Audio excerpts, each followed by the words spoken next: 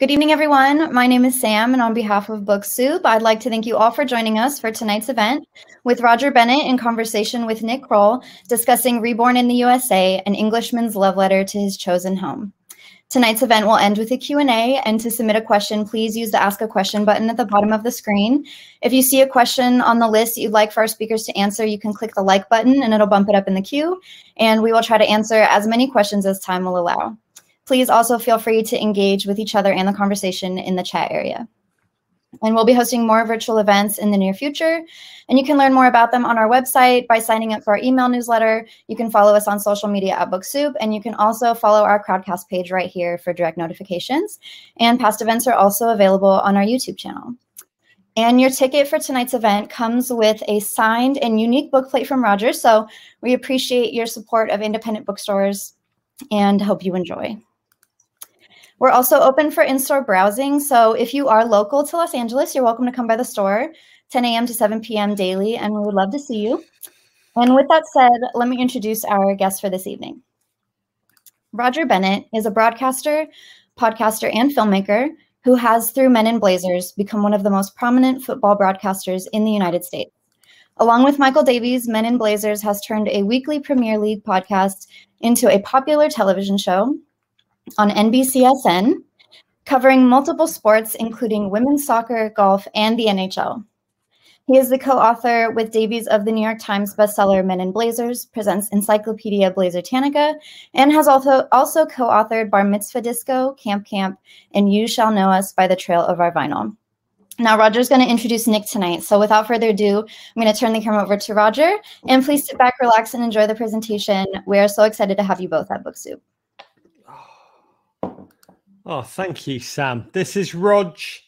I'm delighted to be with you for this evening of conversation, the celebration of my book, Reborn in the USA. And I'll say the reception across America has been so bloody humbling. But it's also a night to support American indies in general and one incredible jewel of a store in particular, Book that magnificent kingdom on Sunset Boulevard, West Hollywood. And I want to thank all of you who are joining us to support this gem live. It means a lot to us. It really does. Support your American indies now. And this is a really special evening for me because my book's been out in the world for over a month. And I'm genuinely humbled by the reception it's received across America. But I feel like I've talked about it and talked about it and talked about it, my journey, my American. So I've talked about it up the wazoo and it's really hard to keep talking, partially because I'm both English by birth and also Jewish. So I've like been cursed in life with a double portion of self-loathing. So I never really enjoy talking about my own crap, which is almost why I defer to football. But because this book is my story, you know, I've had to keep talking about it a lot. So tonight feels special because for the first time in the whole Reborn in the USA Palooza, I'm actually speaking with a family member, and I, am going to break it to you. It's not my dad. And I know so many of you would like a return of Ivor Bennett to the pod. It's not happening. I'm going to bring up my brother in law, who's a remarkable gem because he is one of America's most sought after creators in the arena into which I dip my toe lightly with Reborn in the USA. He's the man dubbed as the Picasso of puberty by the New York Times. He's the co creator he's the co-life force really behind Netflix's Big Mouth and the forthcoming Human Resources coming out spring 2022, a workplace comedy which will be set in the world of the big mouth creatures and monsters. Let's bring him up. Nick Kroll, you beautiful bloke. It hey, is Rog. an incredible joy to be with you. A, a joy to be with you as well. Uh, as you've been at many family events, this is straight vodka. It'll look like waddle. You're drinking a Budweiser. This is just pure Smirnoff. that old family trick. I am genuinely fascinated to talk to you because I spend all my time talking about life as is represented by sports. You know, to me, football is just a small story, trapping the big story, human motivation, dreams, shattered dreams, the pursuit of glory, failure, tenacity. But you've made a career out of really just going right to the heart of the matter because you know, my book, I'm new to writing about puberty, adolescence, the agonies of, but you, you've made it your canvas. And I mm. to know, was that planful or was it just accidental? Um, you know, I, I, would say a little. Well, to be honest, really, my career got started doing bar mitzvah disco with you, uh, a book uh, about people's stories and pictures of bar mitzvahs from the '70s, the '90s, and really began began my was the first thing I ever actually really made, and it was the beginning of a, a delving into this period of time in in life.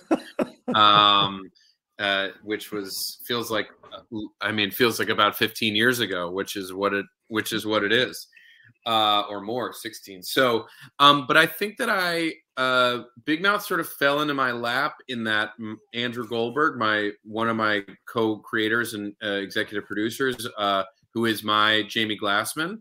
Uh, in many ways, um, who I've known since I was in first grade and became best friends with in middle school.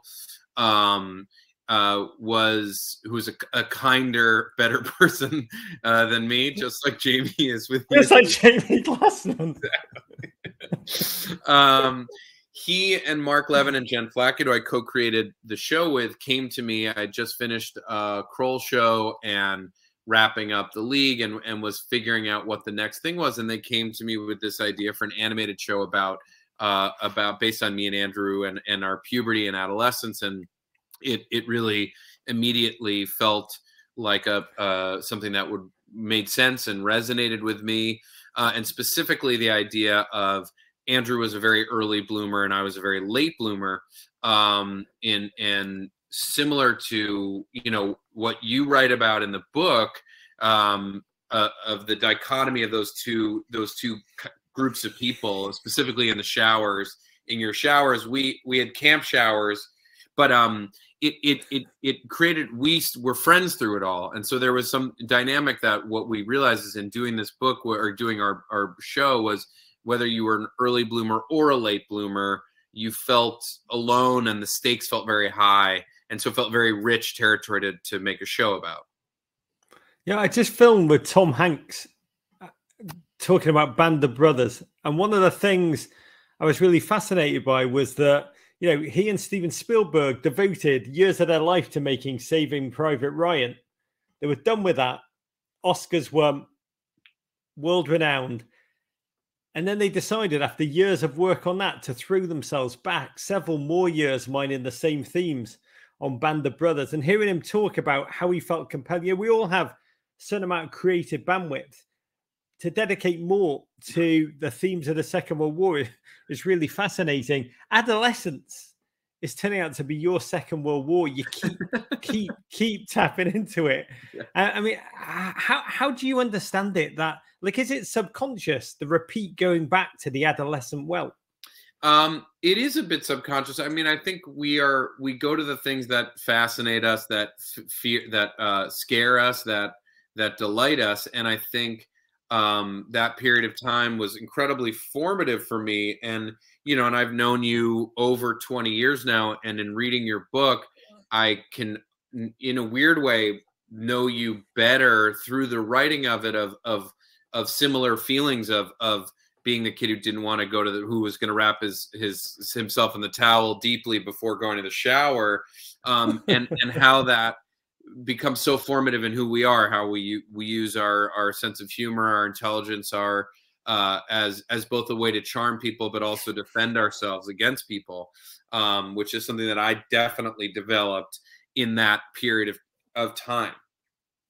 I don't know if you're yeah. going to say something now. No, I was. I'm just fine. If you knew me 20 years ago, Nick, that means I hadn't gone through puberty when we first met, which is, um, which is, which is that takes me back. It takes you back yeah. to those days. Yeah. But I God, I, you said already, and I am fascinated by it that your success, which has been a wonder to behold, is even more remarkable when you know, as you did, that you succeeded despite surviving working with me on the book Bar Mitzvah Disco, which, if you haven't seen it, people, it was a, uh, I'd say it was an early internet project in which we used the power of the web. It was genuinely hilarious.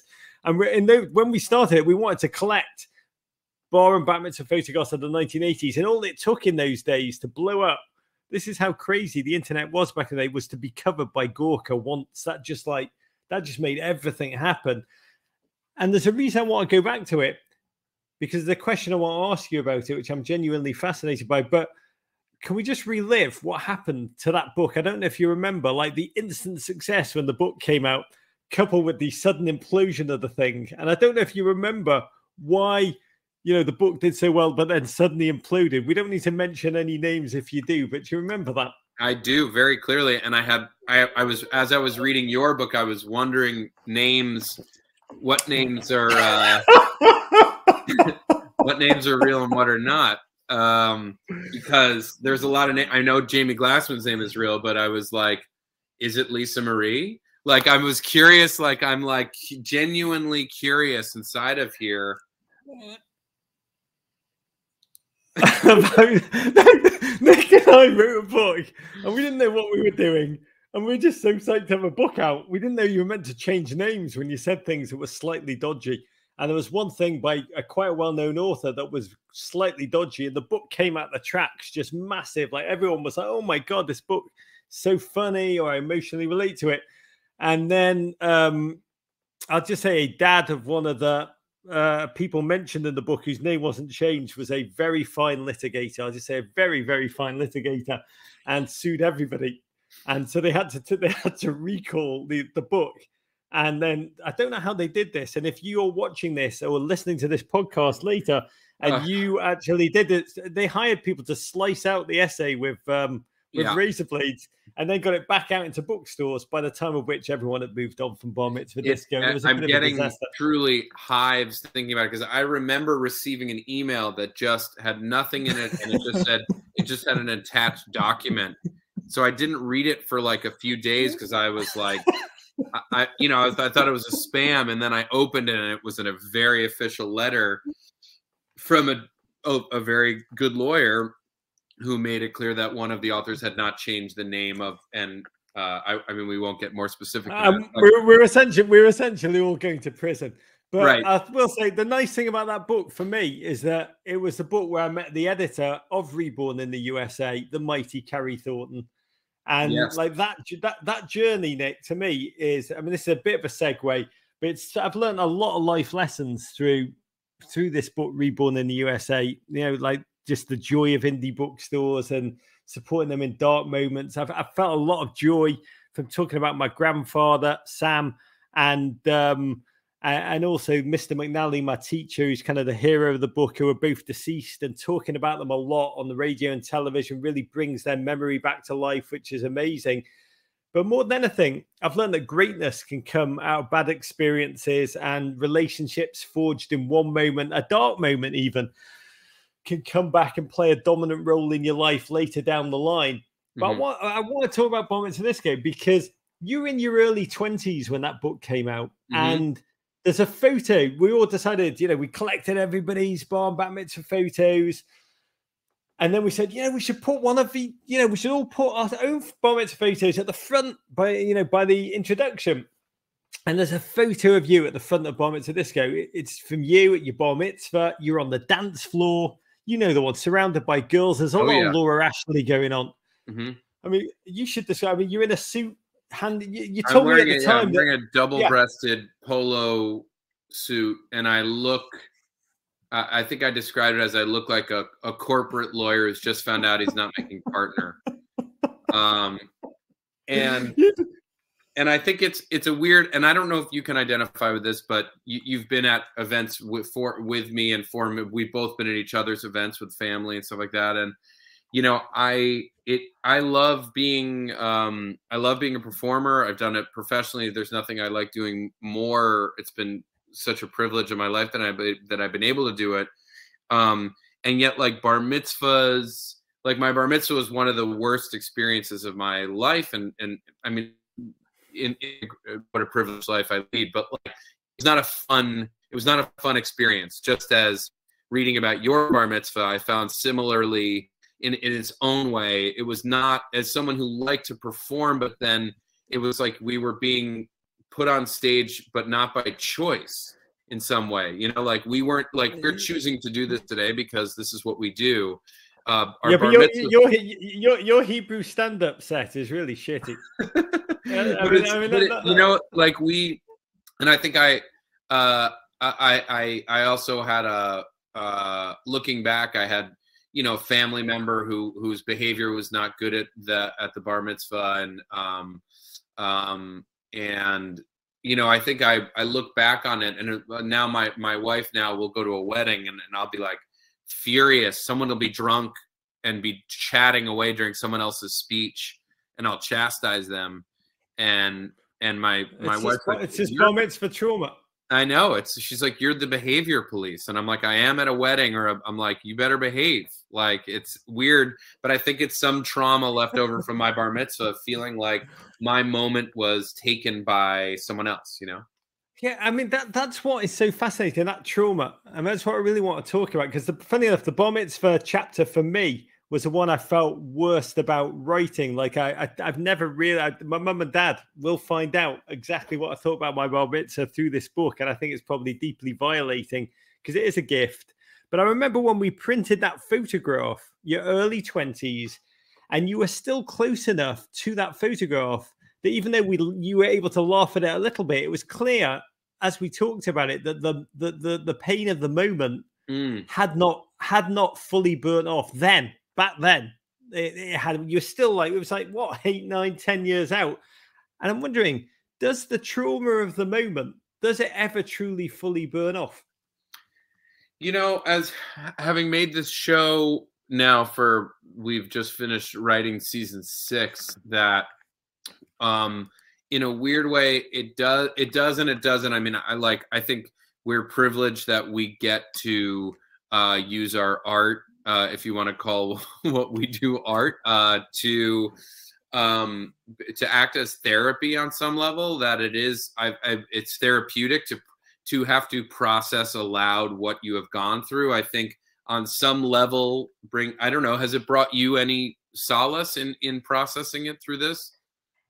You know i wrote this book in a fever dream during covid. So covid had started. I was in manhattan the land of my dreams as a kid um and the land of my dreams as a kid was overwhelmed by by human darkness and confusion. Um so i kind of plunged into this. This was not a meticulous piece of planning. This was not a uh, okay we're doing this like a piece of sculpture that i began. I really i mean the whole thing the the the the very act the big picture act of writing the book was deeply therapeutic. I, I really did lock myself up for four and a half months There's a photograph that I published when the book hit the bestsellers list that um, that my wife, your sister Ness, um, took of me staggering out having finished my first draft. And it was really the first time I'd gone out into the sunlight in four and a half months, Nick. I mean, I'd like grown that Tom Hanks kind of castaway beard that looks so good on Hanks and looks so patchy on Rog. Because even though now I have gone fully through puberty, the beard growing thing is still still a bridge too far. Mhm. Uh, and my arms were like stick with like translucent sticks. A number of our friends just texted Ness saying, "Please tell Roger to take that photograph off the internet. It's truly a horror." so, like, I think the whole uh, the the moments of writing it were less therapeutic than the black hole that I, I plunged into to write it. But I mean, just I don't mean to keep banging on about a photo that is was once a cause of pain. Mm. But the other the other delicious note about it is you had deliciously big glasses. We both had big glasses at our bar mitzvahs, Nick. I think big glasses on small children is a special kind of trauma. I don't know what we were. I don't know if we thought it made us look more adult or I don't. It definitely wasn't. God. What was it? What do you think it was that was like? Because I'm. I think about it now. I'm like, well, Why was I wearing big tortoiseshell glasses? You were wearing literal women's glasses. Yeah, so I like the way you're relegating me slightly. Like you, oh, No, no, know I- you- you- I'm, I'm trying to bo- I'm trying to bond us together. You're No. picking me apart. Be like, no, No, no, I just, I, I, I'm, I'm, jealous. like, I'm jealous of the beauty of the description of wearing women's glasses. I'm, I, I'm, I'm envious of that of that detail. Um, It was there was a comedian. I think you've nailed it. I, I didn't think it through, or else I've forgotten it. There was a comedian on English television. Like, I wanted to be something that I wasn't, um, and so you want to be things you see outside of yourself. And there was a British comedian, Ben Elton, who I thought was like stand up had really just started on on English television. He was one of the first, and he was very intelligent. He was a London guy. His mouth moved so fast, his brain moved faster, and he had a he had a pair of glasses very like it. And I do think when I went to an optician's and needed glasses, like I was like, I was projecting to be the mm. person I wanted to be funnier, louder, cleverer, more, you know, um, out there. Hence women's glasses. I think I wanted, I, I don't know if I thought I would, if I had bigger glasses, I would appear bigger. I mean, we all wore bigger. You know, you, I'm a few years younger than you came up, you came up like Beasties and Run DMC uh, and I came up like Raider starter jacket uh, style, and so for me that was uh, that was huge for me to be able to wear something that gave me more size, you know, that gave me more uh, girth, let's just say, um, and in all manners speaking. But I, but I think that just going back to your question, I think it, it has therapeutic for me to be able to process that time in life and and honestly then going to therapy and talking about the things that we are talking about and, you know realizing that the things that i was talking about in therapy were the things that i was going was was still the stuff that i was processing from when i was 13 and that it's such a foundational period of time in life that then really does for for good and bad have such profound effects on who you become. Um, and and I think I then would take stuff I'd be talking about in therapy and bring it to the room and try to be honest about what I was processing in therapy, and then we would come up with story points in the writers' room that I would then bring to therapy and be like, well, uh, this is what we're talking about in the room. You know, like uh, that. You know, there's a point in in Big Mouth where Nick takes on a, a female hormone monster and you know i sort it was originally just oh this will be an interesting story point but then i brought it into therapy i was kind of like you know we're talking about nick getting the connie the hormone monstress as his hormone monster and and you know the more we talked about in therapy it was like oh well i think the truth was is i had two older i had an older brother and then two older sisters one of whom is your wife vanessa who was a huge influence on me um in, in how I observe the world and how I process the world. And and I and because of her, I think in a lot of ways, I carried a lot of feminine energy and like um it made me a good friend to girls, I think, but also not necessarily the guy that girls wanted to, to jump into bed with in, in middle school and high school. Um and and so in processing like a story point of Big Mouth, it's like, well, you know he's got a hormone monster so is processing for me in this lifelong journey of being like oh well i carry more feminine qualities that that are are that have you know become are are a core part of who i am. Um but i was i either wasn't aware of or was denying or embarrassed or ashamed of that element of who i was in in many ways growing up you know i'm not outing you because you've already mentioned it we both wore big glasses. We were also both late bloomers. Being a small boy in a world of men is a special agony. And when I look back on my experience, which I set out in chapter five of the book, just locker room talk, at the time, so much of that experience was 24 7, devastatingly, humanly crushing and I never talked about it for a decade. And I'm fascinated. Stories you found awkward because of what you do, and, and that interplay between the writers' room and therapy and bouncing back backwards and forwards is is genuinely that blurring is is mind blowing. Stories you found awkward do you now love that feeling of awkwardness because you know that's the equivalent of hmm. finding gold human gold is awkwardness is it is awkwardness funnily enough hmm. now a place in which you are utterly comfortable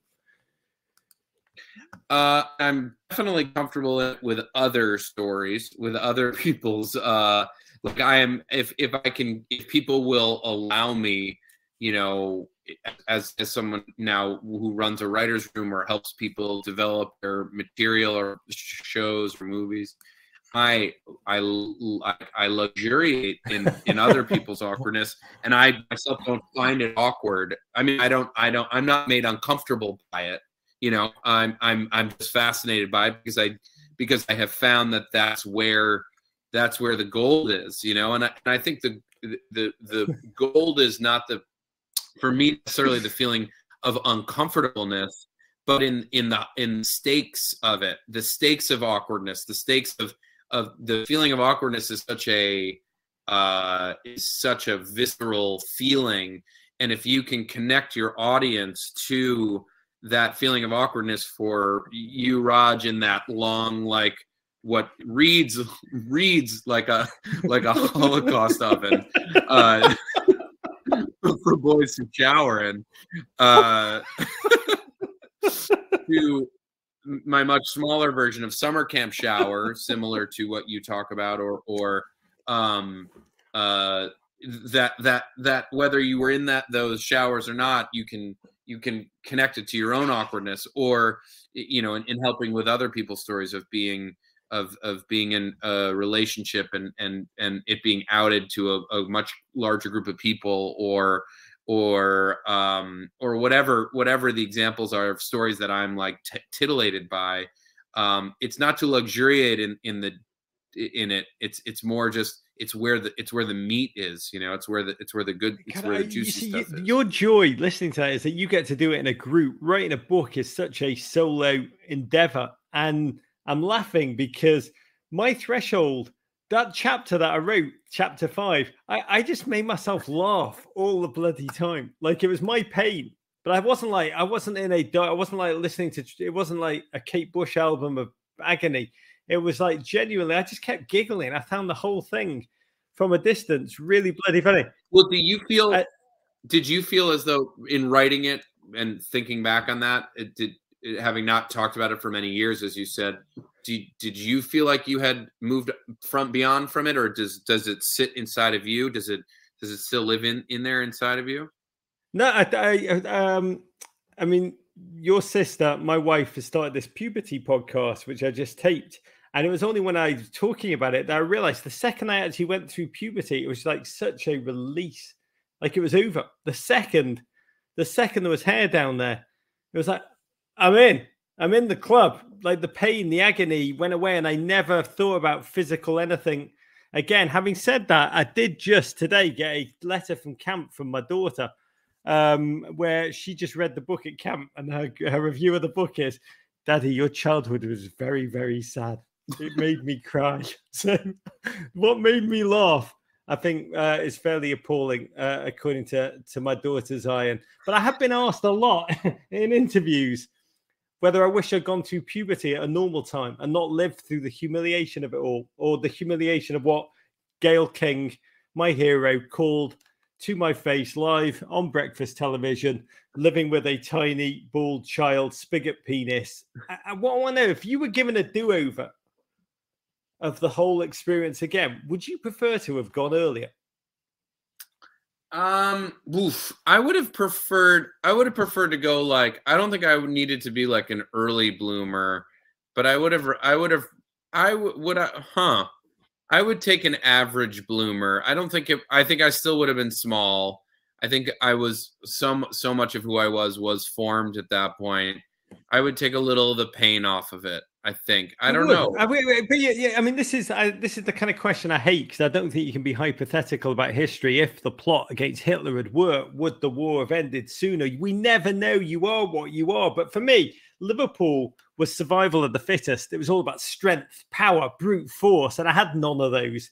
So I did. I learned to use my mouth, as you said. You, I mean, we both, I guess, learned to be, you know, quick of mouth because really there was no other way or the other way was so devastating when you are tiny you have to be mouthy you have to learn to use your mouth as a weapon a shield Mhm. and a sword um you know, you know I did it i wonder like how much of you turned to humor to use laughter to heal that trauma Mm. I, I mean, I think I wonder if I had been an, an earlier bloomer, but but still the youngest in my family. I, I put a lot on birth order. Um, being the youngest of four, and and you know my family, the siblings better than anybody. Um, and I think there's a, a, oftentimes the youngest be, can become performers. Uh, um, so I, I, I could have been slightly earlier in my in my my progress, but I but I but I I, I don't. It's so hard to it's so hard to know. Um, and I I I mean I attribute a ton of it. I, I was also just like you know I look at Andrew on the other side, my co-creator Big Mouth, who who had a beard like this by the time he was in seventh grade, and had a had a mustache in sixth grade, and his parents made him they waxed his upper lip, and he could he couldn't grow he couldn't grow, and then for years he could grow a beard like this, but nothing right here, which we, oh, so we called it his reverse Hitler. Speaking of uh, the plot against Hitler, um, and you know, and that whatever trauma he dealt with as being an acne ridden uh, early bloomer with uncontrollable desires and and uh, impulses formed him at, at comedically. So, um, you know, I, I, I don't know. Do you think you would have ended up where? Where do you think you would have ended up in if you had been a, um, like more in the middle or early? I think I'd probably be. I mean, I don't like to be hyperbolic about things. I'd probably be 125 goals for England, captain at this point, leading them to World Cup glory and looking to defend the title. There's no doubt. If you'd gone early, if you'd gone uh, early, you'd probably be QB one for the New York Giants right now. It's nice to think about, it, but instead we were left with that life cycle of pain from being too just, traumatic. I'm I'm picturing this alternate universe where you are now it's it's the Euro Cup and the fifth the fifth gen coming up for the for the penalties is a it's a 50 year old rather belly belly dad Roger Bennett. Cut no, sleeves, sleeves of a, Beckham tats. It'd be a different, yes. Thank you. It'd be a different neck tats, different. It'd be like the Biff from her from Back to the Future, Roger. It'd be the Alterna Rog. Oh. Um, oh God, I'd love to bite your arm off to be Biff from Back to the Future. The but dream. you know, that that life cycle of being too traumatic to talk about, to being liberating to talk about it. You are in there, and that's what makes your work profound because it is hilarious, but it's also serious. And then it's also, if I had another hand, I'd be waving at. It's also bloody authentic, which mm. is what makes it so awkward and remarkable. And also because society is uncomfortable talking about puberty, which is really insane because it's the one thing that every human being goes through around the world, but we never ever talk about. So, with those three things, which is most important to you? You know, the balance of comedy, mm-hmm. awkwardness, and authenticity in writing. What's more important to you, or do you even think about them as separate at this point?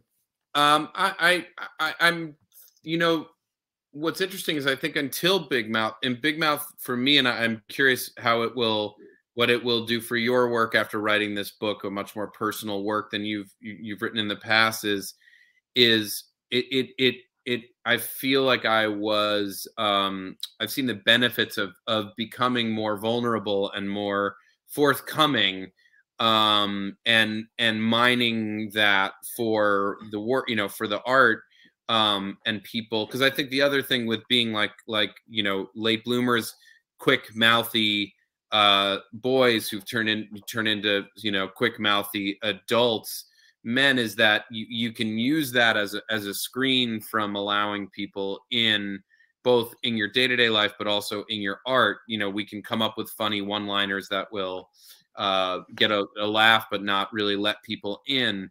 Um, and i i feel we've been i've been rewarded in big mouth for being more vulnerable and authentic and um, and so I I've been trying to challenge myself and and the other people I work with to dig deeper into that and be more honest and authentic. Which it has an it's had an effect on my stand up. It's had an effect on everything I do because I've seen the rewards of being more more forthcoming.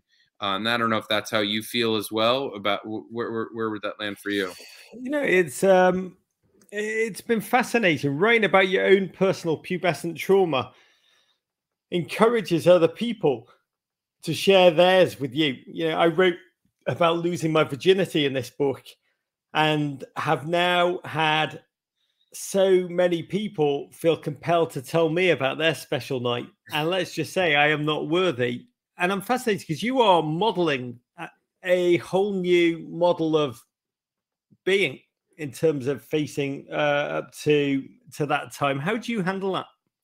Well, I think lots of um I think this generation because of social media and everything that it's ex- somewhat expected that you are going to be self-revelatory um what but where where i differ is that that oftentimes that's expected on like a daily basis and not always necessarily very curated or it's overly curated and not necessarily authentic um, the the difficulty of of writing a, a, memoir as you've done and locking yourself away for four and a half months um, or writing a show is it takes a long time uh, and you get to really sit with that stuff and really decide what it is you want to share and how you want to share it. Um, and I think you know we we we are being re- I think hopefully rewarded for that um, and so that that's that's where I have that's sort of where I've seen the benefits of it. And um but I also it's a I don't know if you found this of like how much to share how where is the line? What is the boundary of what is what is what is okay to share of mine of my friends stories of my family stories of who they are? And and I'm curious for you how that was to to do uh, you know the the family thing is fascinating. Um mining family stories. You know, my book is is my story. It's my family story too. There's a lot of bennett life in that bad boy which is, I want to be honest, a bit like wandering into a bloody minefield by mistake. And I'd be lying if I didn't think about it before. If I tried to say I didn't think about that before I started, you know, I did crash read uh, Mary Karr's pretty excellent book, The Art of Memoir, before I started tapping away on the keyboard. And she wrote a lot about it, a lot about it. I mean, with like um, flashing lights, which essentially just boiled down to write your truth. I mean, every writing book I read about memoir just kept saying, write your truth, write your truth.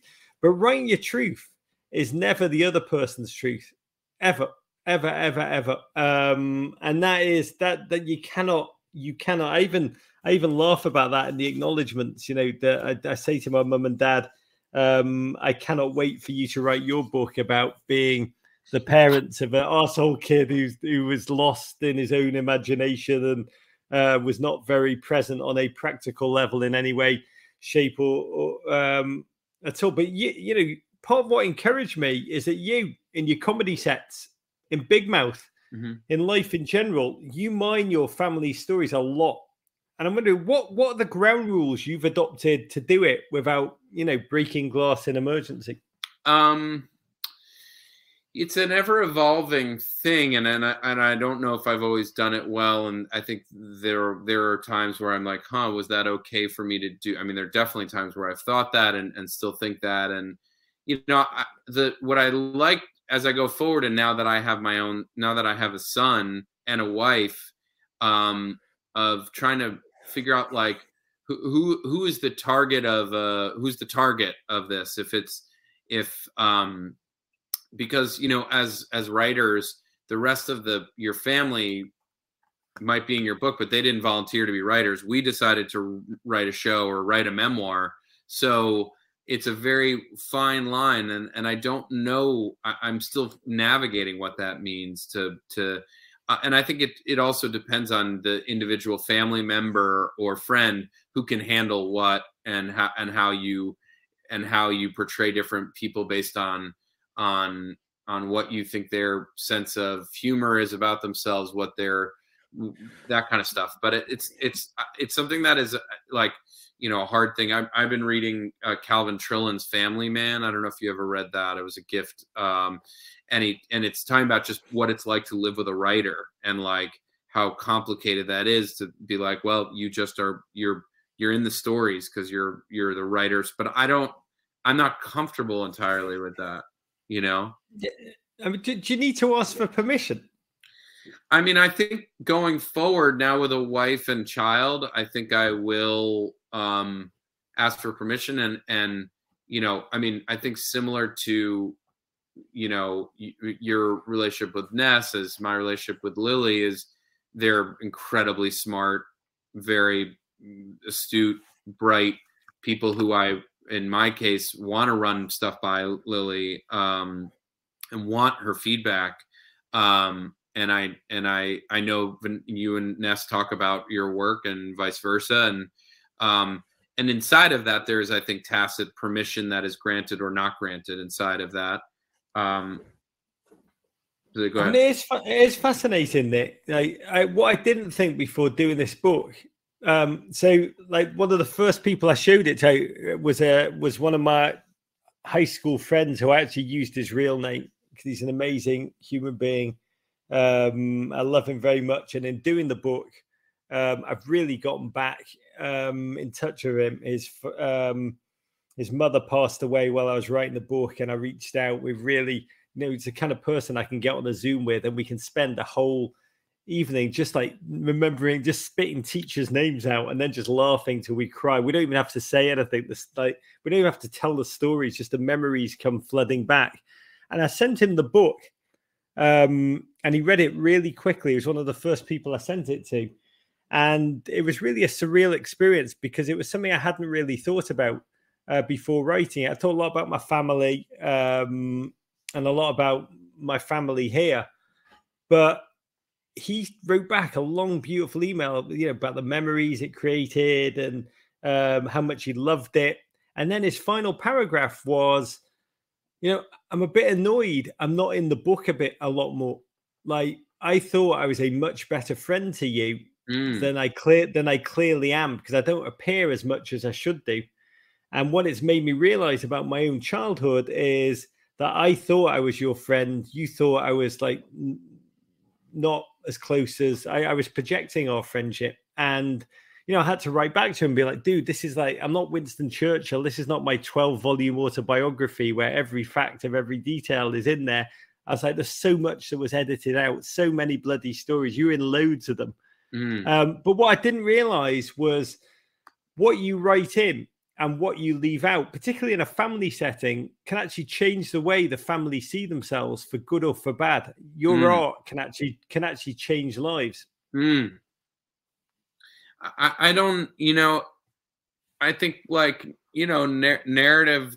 It's a it's a much it's a big question, which is you know so much of how family is whether there's a show or a book written about every family has their stories and every person inside of those families has their narrative um, that are perpetuated by the family uh, both good and bad. And and i think even so even without a published now this is we're sharing it you know you're sharing your book with the world i share my show with the world. And but it, it's no different than the stories that your mother and father would tell about you or Nige or Amy, or in my case, you know, Jeremy, Vanessa, or, or Dana or myself, and what kind of kid I was, or what, you know, and we we tell these stories that become become the stories of of who who we are to to our family.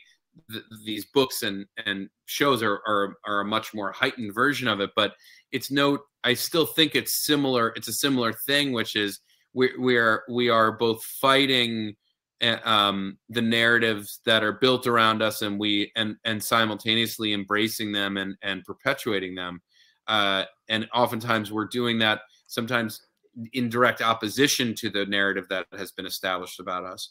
So i think that yes those for sure those things can have an effect on on how we or our family perceive ourselves or or or or, or you know our siblings or or parents or friends and I think it's a very interesting thing which you bring up, which is the idea of if one is not included, like some people would rather be mentioned negatively than not at all. You know, like uh, I, I think about Rushmore. It's a separate that Rushmore, that Scottish boy, you know, with the broken arm, who just was like always wanted to be in one of your fucking plays. You know what I mean? It's just like sometimes they just want to, as, as much as they don't seem to want to be, they want to be included in some way. I don't know. God, it's amazing that you mention him because I went to school with a hundred of that person. And you know, I, I it's one of the. I, I, I, you, when you write a book, it's a very funny thing to do an epigraph. I will be quite candid. Um, it's like such a weird part of the the blurbs is a weird part of the process, awkward AF part of the process, and the epigraph is like a really bloody weird part because essentially you're getting to use someone else's words that are inextricably better than anything you're about to write mm. for the rest of the. They set a tone, but you know when you're writing it, they're always going to be in your shadow. And I chose one that I've spoken a lot about over the past month from from Langston Hughes, the incredible poet, mm. and one I've not talked a lot enough about. And I wish more people had asked me was um, was from Jason Isbell, um, who's a came on our show and just blew me away with just his, his vulnerability and his humanity. And it's a line I've always loved from Hope the High Road, um, which is, I used to want to be a real man. I don't know what that even means. And you mine that theme hard too, you know, after working on Big Mouth and human resources. And in one of my book, in my book, one of the themes that I kept going back to was rejecting the kind of all prevailing manliness, that Scottish guy in Rushmore manliness that reigned in my childhood, you know, macho, Anglo Saxon, angry, lager guzzling geezers. But I didn't know what to replace it with.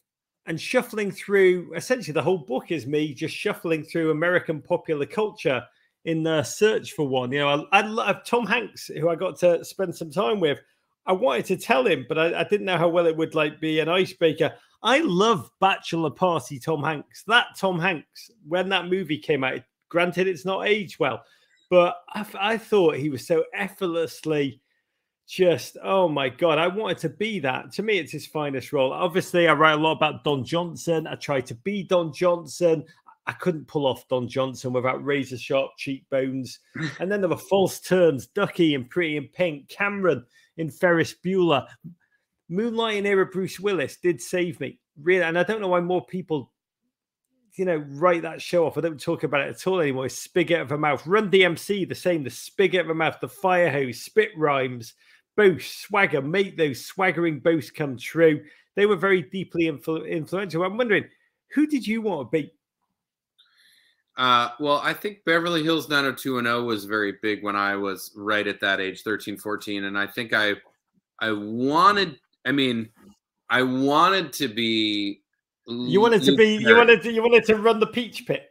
I wanted, I wanted to be the old man who was friends, man who was friends with all of them. That's what I wanted. I, I, I wanted so cool. to be Luke Perry. I wanted to be Dylan, who's sort of brooding and from a broken family with like a beautiful car and uh and just like great you know like just always like that. Um i think i sometimes felt like i could be not not as good looking as jason priestley but sort of like the, a nice straight down the middle guy.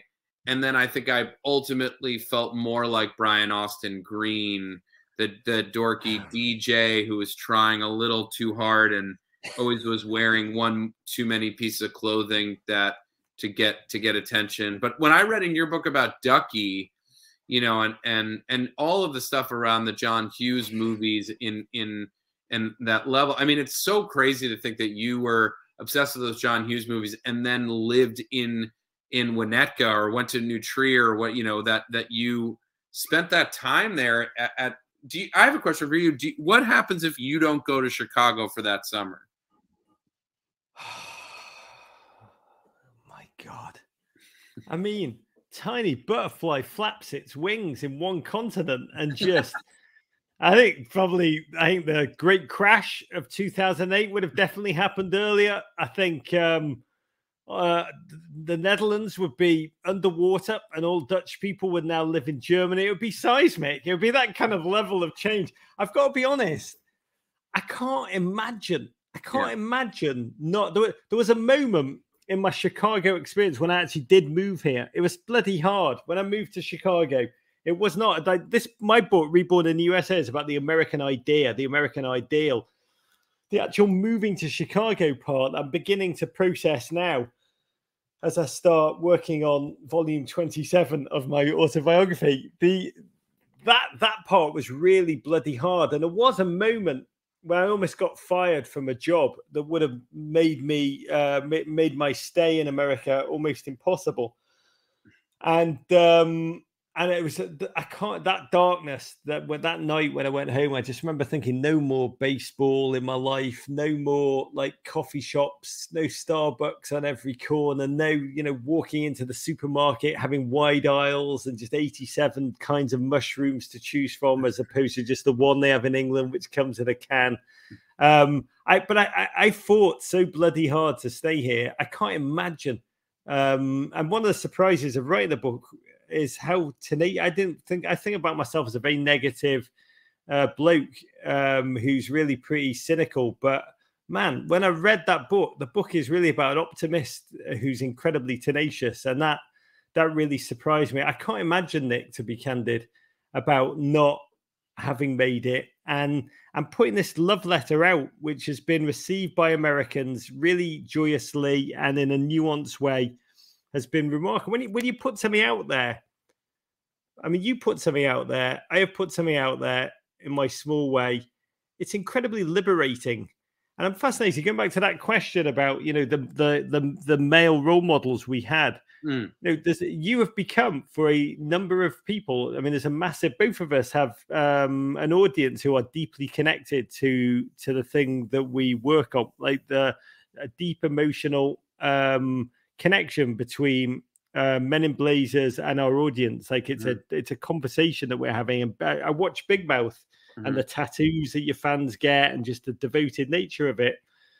How do you feel now that there's a number of people in America, you know, young people, men and women, who look at you and say, when they're asked, you know, who's my model, and they mm-hmm. say, you know, Nick Kroll now.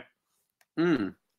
I mean, it's it's ama- it's an amazing thing to to try to wrap wrap one's head around thinking about growing up. And again similarly like you know what were we watching? What what influenced us? And clearly i think for both of us and especially in reading your work um and, and reading this book but uh, and just thinking about how much pop culture framed uh, and and became the engine for who you are and who and how you saw the world. And and you talk about your someone you think of yourself as, as, as a pessimist and yet this is a real optimistic book. I mean it's an optimistic boy who who's going to leave as you talk about li- the people of liverpool looking out into the sea for something. And and here you are now you know years later drinking a budweiser uh, in your home studio uh, you know like having written a hugely successful book putting your own your own uh, your own stamp on on American and international culture,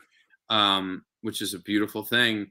And I, I, I mean, I feel very lucky to think about you know watching the shows that I watched growing up, the cartoons, the uh, whatever, all the stand-up specials, the things that, and to think that someone is watching what I do, both as a kid, but also as a young adult or a college kid thinking about getting into this and and and more than anything thinking about how they want to do it um, that that to me is uh, exciting um, and uh, and I think like in in in how Big Mouth now has evolved from starting as me and Andrew stories as a as the engine for the show and now by season six and even well before trying to be able to tell other people's stories and, and bring other people in to help tell those stories um, that are not necessarily like straight white Jewish boys, you know, coming of age.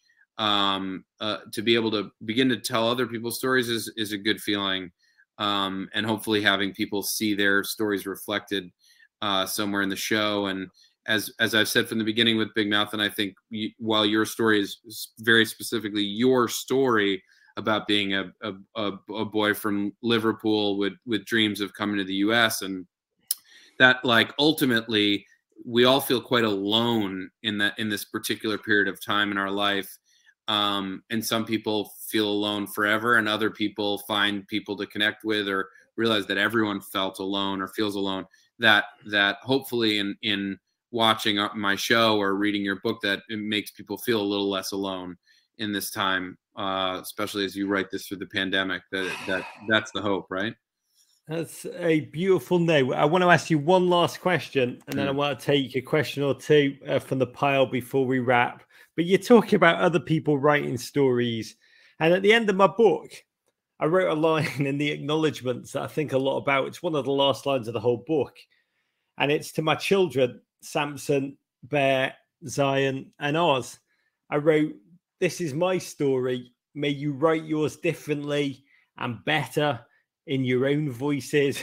Mm-hmm. and I do, I do mean it. I really mean it because I do. I, I, am a kind of gent that wants my kids to be better than me um, mm-hmm. in every single way. But my lord, if one day one of them writes a memoir about growing up with me, I'll just say I'm not sure if I'm ready. And you just became a father, mm-hmm. and if your kid writes that book or mm-hmm. unleashes a television series like Nick and Me, the Real Kroll Show, w- would you be like, yes, or would you like, would you like? David Burnett and be like, say, my God, what have I done? Yeah. I mean, I think it will, you know, depend on how how well he writes. Uh no, I think it's um tr- truthfully it's like like you said, I think the the the hope is that uh you know, and I and I my family uh it, as you know is incredibly supportive. And there's definitely times the things that I've done have not been the thing that they would be most excited about. But I think to watch your loved one succeed is a beautiful uh, thing, and you can only hope that your progeny, whatever they choose to do, that they that they find. All I can ask is that they find that something they love to do, and and have the blessing of being able to do it, uh, because that's something that so few people get right. Like that that so people people want to be a writer and they don't have the facility to do it or the success that they would hope for. And some people get to be successful but they don't write about what they care about whatever it is. So um, i only hope that you know for my kid and hopefully kids and your your kids my niece and nephews just find the things they like to do you're a beautiful human being we're going to take a couple of quick questions before mm-hmm. we wrap First one up. It's a beautiful question. Thank you. Better than anything. This is like the, the, epigraph of my book is better than anything I wrote.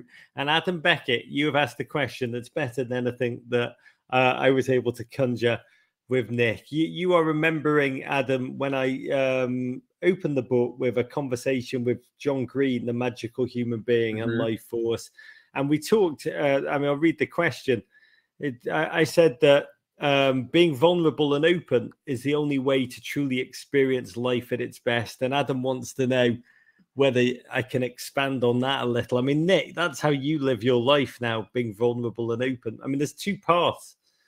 There really are two paths. Um, I mean, I don't know if that registers for you at all before I run my mouth off. For sure. I mean, I think it's there's no no doubt that that vulnerability is and you know as as you talk about whether it's you know whether it's John Green or or the people that we love and and even the athletes that you talk about like the like their fridge you know captivated America partly because he was a physical anomaly but but because there was some vulnerability there that was you know what I mean? That he that he he he was captivating because of that. Um uh and, and I think like you know that whole Bears team. You look at them. There's something there that's like that. You know, I mean, the idea that Walter Payton stopped to take a photo with you, you couldn't get the photo off, and then was like, "I gotta go," is like heartbreaking. But you're like, "This is sweet. Is this is sweetness?" But also, you know, he and Mick Jim McMahon in his own way. You know, like anyway, th- th- there's a reason that team captivated America and the world because they were all in their own weird way vulnerable. Uh, you know. You know, to me, that team actually taught me that after 20 years of just being self sabotaging, self destructive losers, they could turn into winners. And like I did see that team, like, oh my God, I've been a failure. I've been a disaster. It is possible to rewrite your script. Mm. But Adam, the reality is we've all been locked down. Everyone has everyone's had trauma. There's been darkness, there's been loss, there's been fear, there's been chaos. And you know, we all had that before we went into lockdown, but now it's just been compounded. And I do believe, like, for us to heal as a nation, as a world, um, the only path forward, the only path forward for open to us is to Simone Biles it and to to just let it out and and speak exactly how you're feeling and work at it and talk about it. not you don't have to share it with the world you know, you don't have to, you don't have to do, don't do this. But you, you, you, you can just find people. Don't, don't really don't keep it in. Find people. It can be one person. It can be a group of people. It can be friends. It can be a partner. You know, a lot of Men in Blazers is dealing with those questions that we get via email and and and and being there in dark times. But really, Yeah, for me, to- to add on to that, just in you know, in Big Mouth, we season two had a the the new character was the Shame Wizard, and um, played by David Thewlis, uh, yeah, which is an was a but in but but a huge part of what we found to, to rectify shame came through Brene Brown, who um, talks a lot about vulnerability and talks a lot about the the main issue of shame is is is is the petri dish of of silence um, and other things that I'm now forgetting. But but I think as you talk about in, in coming out of COVID, it's you don't need to be necessarily writing your memoir, tweeting every minute, or making big mouth, but but being able to share what's going on with you on a personal level. I think not only will will just alleviate some of that shame that we've so many of us feel for whatever it is for for having a, a, a little spigot uh, as a 13 year old or or or you know uh, you know uh, uh, you know getting pantsed or whatever happens to you as a child or as an adult the being able to speak about it and be vulnerable and share alleviates so much of the pressure of that shame God. When I say it's the only way forward, I do think it's the only way forward. You have to articulate what is going on, not blast it out to the world, but find a way to get it out of you. Second question, we'll take a couple and then we're going to pull this beauty together. Um, it's a great question from the mighty Al Lopez, who says to Rog, Does it confuse, astound you when you hear stories of kids in America dying to live in England? or a stranger in your own land, just one of the universal stages of the conveyor belt of life. You know, Al, I have had thousands of Americans um, reach out to me. The first actually was Mina Kimes, who during that weird blurb uh, period, which is so, I mean, uh, God, I'd like to write a book about getting blurbs because it is so psychologically um, nuanced. And Mina read the book and then she reached out to me and she said, You do need, you, and may- she told me what she thought about the book, uh, which thank God was positive. Um, and she said, You do know, I grew up wishing I lived in Manchester. You know, I was a huge Cure fan, huge Smiths fan. Mm. And I just wanted to live like in Salford with Morrissey and all that crap. And I was like, oh my God, you dodged a bullet. But listening to her talk about it, and I mean, Nick, you may have wanted to live somewhere. I, I just think it, what I've learned by doing this is that it's an it's an adolescent norm to just lie in bed at night thinking about your own weaknesses and wishing you lived somewhere else wishing you know you could be alterna roger alterna nick funnier you know slaying. Everyone laughs at your jokes. Everyone listens to you. Everyone fears you and loves you in equal measure and all that crap. And that's what i've realized in the book. That is just a that's a deeply common human experience. And i think the only thing that is mildly special about my experience is i actually acted upon that. I actually carried it through. I actually did the equivalent of moving to salford and living with morrissey i mean did you was there a moment when you wanted to you were like damn it with the kroll family i want to go and live in i could get Yeah, in a- china I know. Well, I, I, I, you know, and again, the beauty of living in the Kroll family was that I, I got to go to China when I was 13 with, with Andrew Goldberg. his, his mom had been working a lot.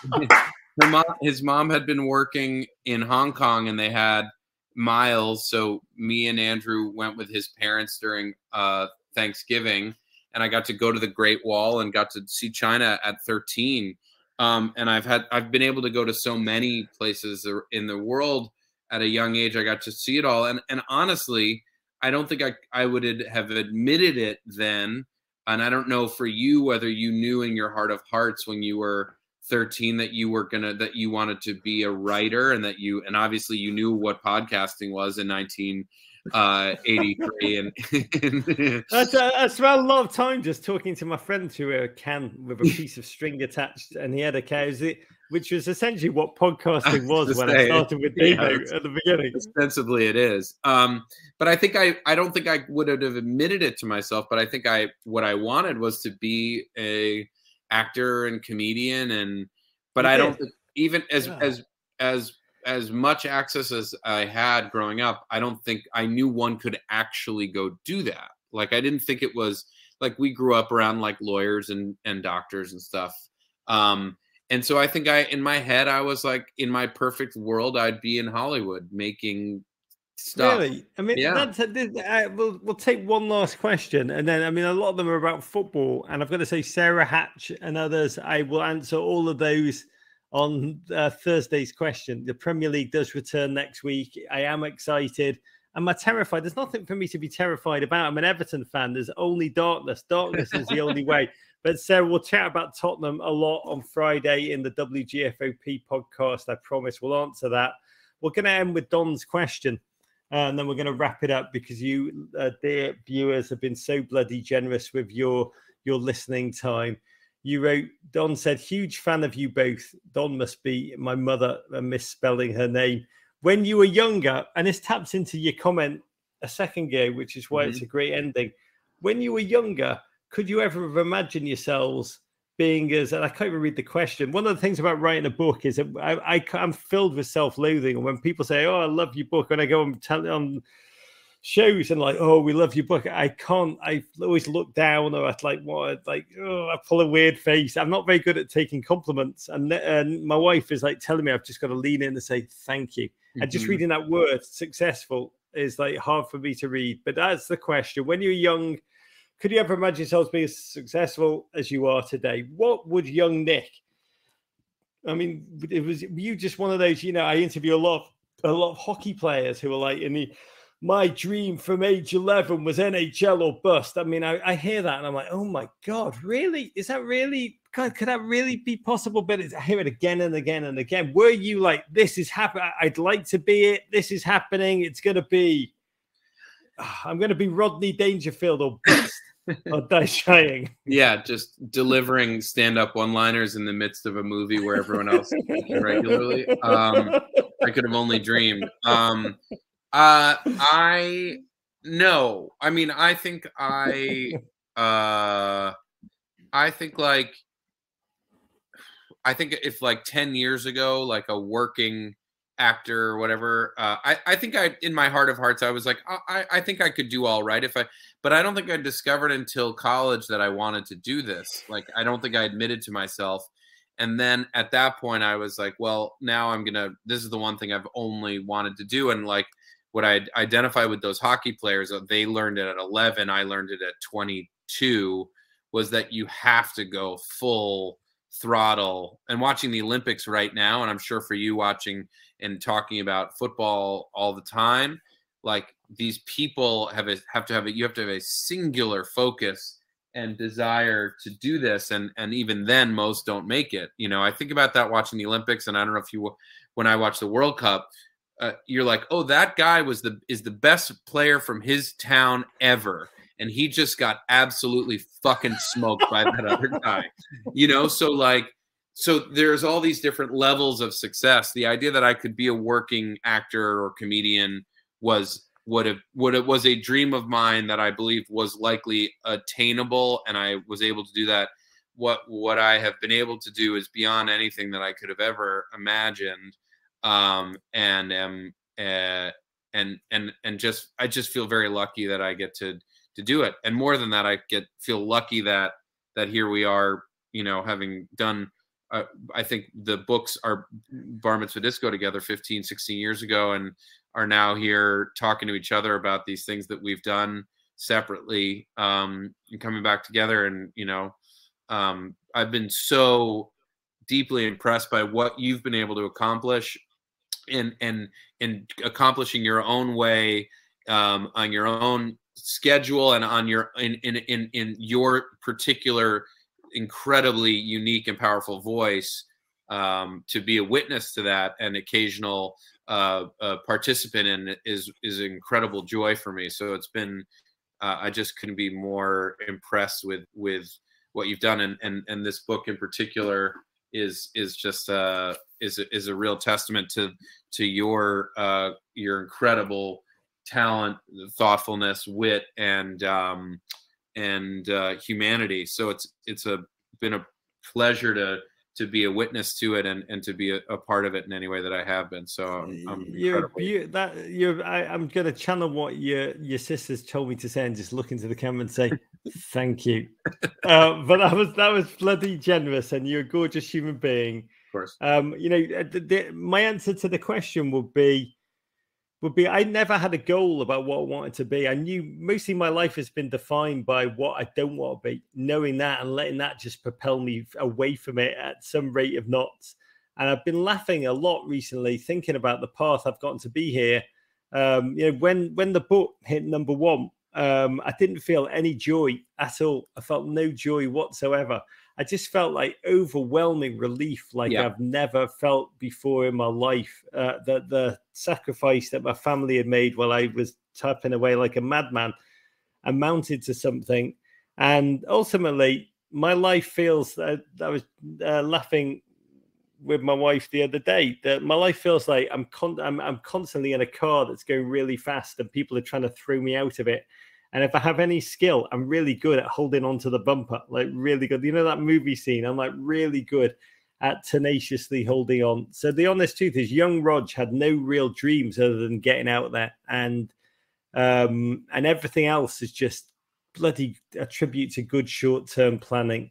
So I am I, I, I, am trying to parry Nick saying nice things by moving away from them, which I'm now going to move back to. You're a beautiful human being that was a um, I mean that was a beautiful thing you said.